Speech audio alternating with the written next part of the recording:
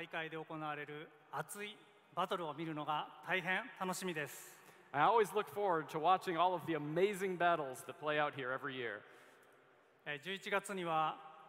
いよいよ完全新作ポケットモンスターソード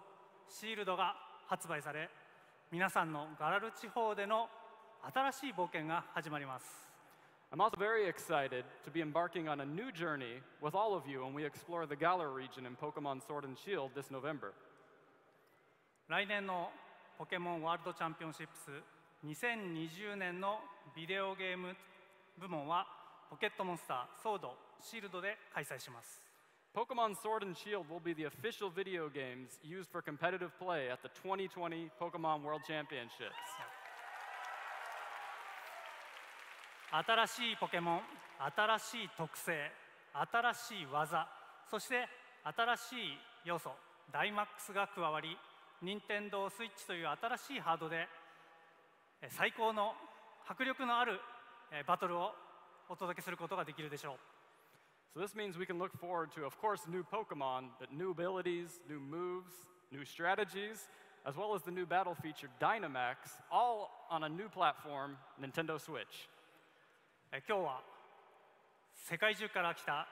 えー剛腕ポケモントレーナーの皆さんにポケットモンスターソードシールドで新たに加わるバトルの要素の一部をいち早く紹介したいと思います So today, I'd like to show all of you powerful Pokemon trainers just some of the new battle elements that you can look forward to in Pokemon Sword and Pokemon Shield. こちらの映像をご覧ください Please take a look at this video.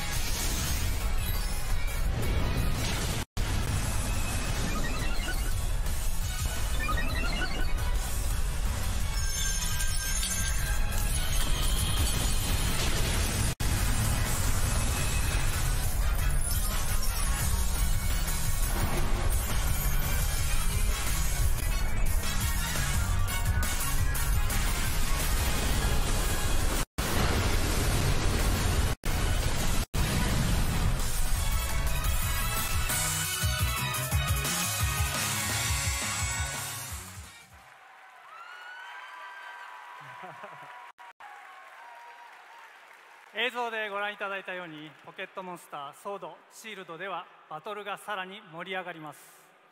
As you can see, battling in Pokemon Sword and Shield is going to be a thrilling experience. 来年のポケモンワールドチャンピオンシップスにてこれらの新要素が皆さんがどのようにバトルを生かしていくのか今からとても楽しみにしています And I can't wait to see how all of you utilize all of these new features in next year's World Championships. ゲームリークではポケモンワールドチャンピオンシップスに参加される皆さんの情熱とプレイスキルそしてスポーツマンシップにいつも刺激を受けています And all of your enthusiasm, your amazing play skill, and your sportsmanship are always an inspiration to us at Game Freak.